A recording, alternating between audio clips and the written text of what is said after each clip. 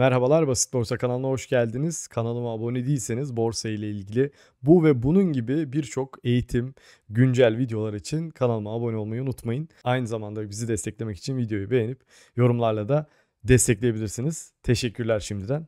Uzun süredir yapmayı istediğim ve sizler için 11 tane film ve dizinin bulunduğu aynı zamanda hepsini de tek tek izlediğim bir tanesini hala izlemekteyim. Bir sürecin aslında videosu bu. Sizlere borsa ile ilgili filmler ve dizileri çok kısa bir şekilde anlatmaya çalışacağım. Aynı zamanda bu videoyu destekledikleri için Steve Da Sinema ailesine de teşekkürlerimi iletiyorum. Steve Da Sinema hesabı da filmler ve dizilerle alakalı güzel içerikler üretiyor. Eğer sinemayla, dizilerle, filmlerle ilgiliyseniz Steve Da Sinema Instagram hesabında takip edebilirsiniz. Aynı zamanda web sitesi ve diğer platformlarda da hesapları var. Evet gelelim videomuza.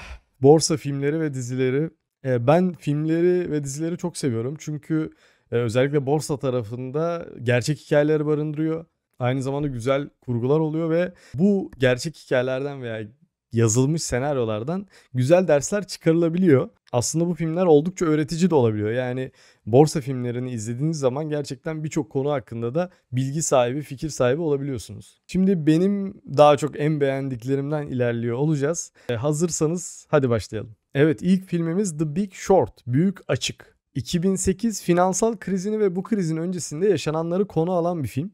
Filmde finans dünyasındaki birkaç akıllı yatırımcının Amerika Birleşik Devletleri'nde patlak veren konut balonunu ve sonrasında gelen ekonomik çöküşü öngörmeleri ve bu durumdan kar sağlamaya çalışmaları anlatılıyor. Film ünlü fon yöneticisi Michael Burry olmak üzere farklı geçmişlere sahip birkaç finans uzmanının paralel hikayelerini anlatıyor. Michael Burry finans piyasasının çökeceğini öngörerek büyük bankalara karşı milyonlarca dolar pozisyon açıyor. Diğer karakterlerimiz de bu bilgiyi biraz e, sahip olarak onlar da bu Michael Burry'e katılıyor. Film bu süreçlerin e, hem etik ve moral boyutlarına da değinirken e, izleyicilere aslında işte short, e, long gibi böyle karmaşık finans enstrümanları hakkında da bilgi veriyor. Filmde aslında bizim konut kredisi dediğimiz mortgage teminatlı menkul kıymetler gibi işte finansal ürünlerin nasıl yanlış veya kötüye kullanıldığını gösteriyor. Burada denetim eksikliğinin ne kadar büyük felaketlere yol açabileceğini de gösteriyor. Çok çok az sayıda kişinin e, bu balonu ve sonuçlarını doğru tahmin edebilme yeteneği de piyasa dinamiklerinin ne kadar karmaşık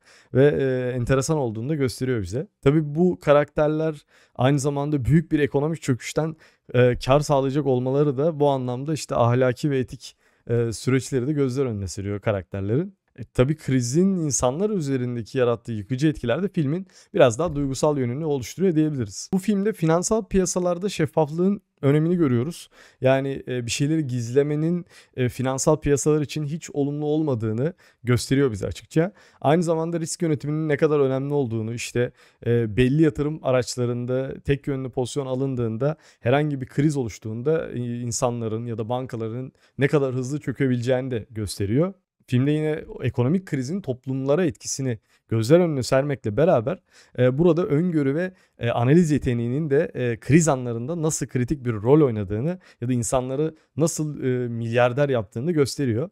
Benim filmde açıkçası en çok hoşuma giden şey aslında Michael Burry'nin bu sonuca giderken birçok parasını yönettiği yatırımcıları tarafından böyle yoğun bir e, tacize uğraması diyebiliriz. Yani telefonlarla işte çok zarar ettik, böyle zarar ediyoruz, nasıl zarar ediyoruz diye ama aslında Michael Burry orada gerçekten inandığı, hesapladığı şeye inanıyor, güveniyor ve inat ediyor, ısrarcı oluyor. Yani milyonlarca dolar zarardayken e, bundan asla vazgeçmiyor. Hatta böyle bir ara batma işine kadar geliyor yani burada.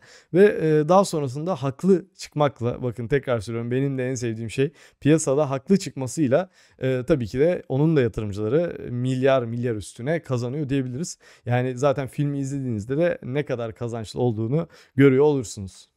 Hatta şöyle bir sahne var. E, tahta yazılı işte eksi yüzde 1200'ler 1300'ler vesaire bir şey yazıyor. O tahtadaki yazıyı siliyor ve e, oraya artı işte 10 binler gibi yüzde 10 binler gibi bir şeyler yazıyor. Aslında haklı çıkmayla ne kadar eksiden ne kadar artıya geçilebileceğini de gösteriyor. E, borsanın e, müthiş böyle e, karmaşık, dinamik ve sürpriz edici yapısını da gösteriyor bence. Evet ikinci sırada Madoff var. Bu Netflix'te yayınlanmış bir aslında belgesel. Bernie Madoff tarihin en büyük Ponzi şemasını işleterek milyarlarca dolar e, dolandırılmış bir finansçıdır. Ponzi nedir diye derseniz sağdan parayı alıyorum, sola veriyorum. Asla yatırım yapmadan böyle sağdan para toplayarak soldakilere para vererek ufak ufak yönettiği bir sistem. Yani tamamen dolandırıcılık sistemi. E, bizde de zaten çiftlik bank vardı. Aslında oradaki sistemin aynısı. Tabii bu dünyanın neredeyse böyle yani milyarlarca dolarlık bir Ponzi sistemi. Adam bu arada Wall Street'in e, işte Nasdaq'ın e, vesaire bir ara böyle yönetim kurulunda falan görev almış bir adam. Yani böyle, böyle bir adamın insanları e, bu kadar saygın bir adamın e, insanları dolandırmış olması da enteresan. O yüzden her zaman şüpheyle yaklaşmış yaklaşmak gerekiyor yani açıkçası. Bernie Madoff ilk olarak tabii finansal kariyerinin yatırım danışmanı olarak başlıyor. E, saygın bir yatırım danışmanı olarak başladı kariyerinde zamanla müşterilerinden topladığı paraları yeni yatırımcılara ödeme yapmak için kullanarak zaten Ponzi şemasını kuruyor. Bu şema bu arada bu da 2008 krizinde çöküyor. Belgesel Madoff'un dolandırıcılığının nasıl bu kadar uzun süre devam edebildiğini ve bu süreçteki düzenleyicilerin yani işte işte SPK gibi SEC'nin Amerika'daki nasıl başarısız olduğunu ve e, işte mağdurların hikayelerini anlattığı bir belgesel. Ama gerçekten bir film gibi yapmışlar. Bu yapımda aynı zamanda Madoff kişisel ve profesyonel ilişkilerini kullanarak insanların güvenini kazanmış, aynı zamanda bu güvenini kötüye kullanmıştır. Ve yaptığı dolandırıcılık e, binlerce yatırımcıyı ve onların yaşamlarındaki yani ciddi böyle manevi e, maddi her türlü hasarı yani gösteriyor anlatıyor aslında. O yüzden finansal piyasalarda denetimin gerçekten asla bırakılmaması ve çok dikkat edilmesi gereken bir e, olay olduğunu tekrar bizi gösteriyor. Burada finansal krizlerin e, belli başlı işte domino taşı gibi aslında birçok yapıyı da devirdiğini gösteriyor. E, dolandırıcılığın gerçekten yalnızca işte para çalmak gibi değil de insanların manevi, manevi hayatına nasıl etkisinin olduğunu gösteriyor. Madoff e, güzel bir yapım. Beni burada en çok etkileyen e, Madoff şöyle bir e, strateji ilerliyor mesela. Burada mesela e, çok böyle kurcalayan, büyük parası olan kişilere senin paranı istemiyorum tarzı böyle bir tavırla aslında o, o oraya e, o kişileri de manipüle ediyor. Ve aynı zamanda bu arada e, Madoff'un e, bu olaylar tabii çıktıktan sonra iki tane çocuğu da çocukların haberi yok. E, iki tane çocuğu da biri galiba intihar ediyordu biri de kanserden e, vefat ediyor. Yani çok hızlı bir şekilde zaten bu olay patladıktan sonra ikisi de iki çocuğunu da kaybediyor. Burada yaptığı dolandırıcılık yani ailesini zaten paramparça ediyor. O yüzden ilginç bir yapım. Mutlaka bence izlenilmesi gereken bir yapım. Geldik 3. sıraya Wolf of Wall Street. Bunu zaten birçoğunuz biliyordur. Jordan Belfort'un gerçek hikayesine dayanan ve Leonardo DiCaprio tarafından da canlandırılan e, bir film. İlk olarak Jordan Belfort e, broker olarak e, kariyerine başlıyor ve kısa sürede kendi firmasını kurarak e, zengin olmasını anlatıyor. Belfort ve ekibi agresif satış tek- taktikleri işte yasa dışı faaliyetlerle hızlı bir şekilde büyüyor. Bu süreçte bir ton kötü alışkanlıkları da görüyoruz ve aşırılıklara dalıyor Jordan Belfort ve sonunda yasal sorunlarla yüzleşiyor. FBI tarafından soruşturmaya başlanıyor. E, film aşırıya kaçan aslında kapitalizmin eleştirisi ve etik dışı davranışların sonuçlarını gözler önüne seriyor bizler için. Filmde zenginlik ve gücün getirdiği bazı aşırılıkların yozlaşmanın etkilerini gösteriyor. E, burada Belfort ve ekibinin yükselişi işte etik değerlerin nasıl çiğnendiğini, e, bu durumun bireyler üzerindeki etkilerini gösteriyor. Karakterlerin başarıya ulaşmak için ne kadar ileri gidebileceklerini ve bu süreçte başkalarını nasıl manipüle ettiklerini vurguluyor yine e, Belfort'un sonunda yargı önüne çıkması ve yasa dışı hareketlerin kaçınılmaz sonuçlarında adalet kavramını da böyle tartışmaya açıyor. E, yine film Amerikan rüyasının cazibesini ve bu rüyanın aslında karanlık yönlerinde maddi başarının etik dışı yollarla elde edilmesini de ele alıyor. Dördüncü sırada Succession var. Böyle biraz drama, biraz aile e, yönetim kurulları, aile şirketi ve biraz da borsanın yer aldığı bir dizi. E, bu da gerçekten hoşuma giden bir e, dizi oldu benim. E, burada e, biraz daha tabii bu kurgu. Gerçek hikaye değil diğerleri gibi. Burada da e, medya imparatoru Logan Roy var ve onun varlıklı güçlü ailesinin hikayesini konu alıyor. Bir dram dizisi. Aile içi iktidar mücadeleleri, entrikalar, iş dünyasındaki rekabet üzerine odaklanıyor. Dizi yaşlanan medya patronu Logan Roy'un kendisinden sonra kimin şirketi yöneteceği sorusu etrafında şekilleniyor. Logan'ın 4 çocuğu var. Kendall, Roman, Shiv ve Connor. Babalarının onayını kazanmak ve şirketin başına geçmek için sürekli re- rekabet ve intrika e, hakim olan bir hikaye aslında.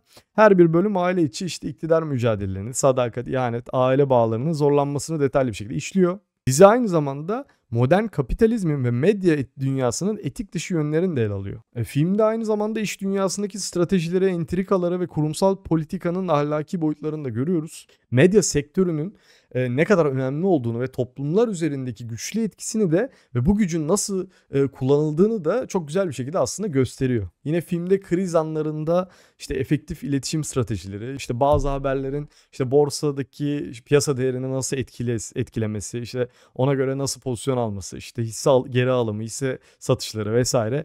Bu tarz konulara da değindiği için e, benim hoşuma giden bir yapım oldu aynı zamanda. Burada şirketlerin işte birbirinin satın alması olaylarına da değiniyor. Aynı borsadaki şirketler gibi. İşte mesela iki tane borsada açık şirket var. Biri birini satın alacak ya da söylenti çıkıyor vesaire. Bunları da ele aldığı için benim e, oldukça hoşuma giden bir yapımdı. Bu diziyi de gerçekten beğenerek izledim. Sizlere de tavsiye ediyorum. Beşinci sırada Billions var. Bu şu anda halen izlediğim, yeni başladığım aslında dizi. Ama başlangıcı açıkçası çok hoşuma gitti. Zaten direkt borsayla böyle aşırı alakalı bir şekilde başlıyor.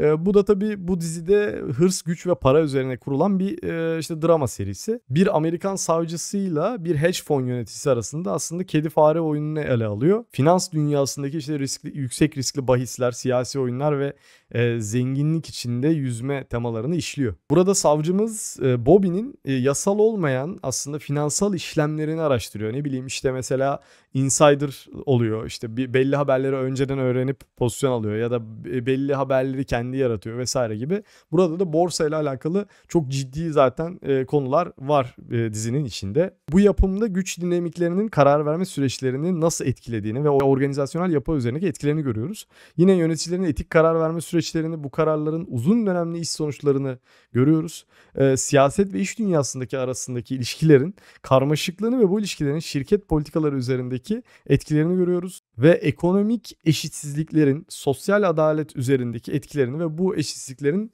e, çözüm yollarında e, ele alıyor seri. Son olarak da kriz durumlarında itibar yönetimi ve kriz yönetimi stratejilerini anlatıyor. Ben de bakalım devam ediyorum hala ama güzel başladığını söyleyebilirim. Evet 6. sırada Glengarry Glen Ross'u koydum. Aslında tam olarak böyle borsayla alakalı olmasa da iş dünyasıyla ve müşteri ilişkileriyle, satışla alakalı çok güzel bir film. Film emlak satışçılarının rekabet dolu dünyasını ve bu rekabette başarılı olmak için neler yapabileceklerini anlatıyor. Filmdeki karakterler satış hedeflerine ulaşabilmek ve işlerini koruyabilmek adına etik sınırları zorluyorlar. Emlak ofisinde bir yarışma düzenleniyor ve bu yarışma sonunda en çok satış yapan kişiye bir Cadillac, en az satış yapan kişilere de işten çıkış tehdidi veriliyor. Film karakterlerin yüksek baskı altında nasıl farklı stratejiler geliştirdiğini ve birbirleriyle müşterileriyle olan etkileşimlerini yarışmanın sonuçlarını tabii anlatıyor. Filmde iş yerindeki rekabetin etik davranışlar üzerindeki baskısını ve bu çalış çatışmanın çalışanlar üzerindeki etkilerini e, gösteriyor. Yine performans değerlendirme sistemlerinin çalışanın işte motivasyonunu ve davranışları üzerindeki etkiyi görüyoruz filmde. Aynı zamanda yüksek baskı altındaki çalışma ortamlarında insan psikolojisi üzerindeki etkilerini de görüyoruz. Kurumsal kültürün nasıl şekillendiğini ve bu kültürün e, çalışanlar üzerindeki işte uzun vadeli etkilerini görüyoruz. Yine e, gerçekten çok etkileyici satış taktikleri ve müşteri ilişkilerinin yönetimi üzerine de güzel e, sahnelerimiz var. bu filmi de oldukça eğlenceli ve güzel bulduğum için eklemek istedim. 6. sıraya da Glengarry Glen Ross'u koyduk. Evet ilk bölümümüzün sonuna geldik. Kanalıma abone değilseniz abone olmayı unutmayın. İkinci bölümle sizlerle beraber olacağız. Herkese sağlıklı günler diliyorum. Hoşçakalın, borsayla kalın dostlar.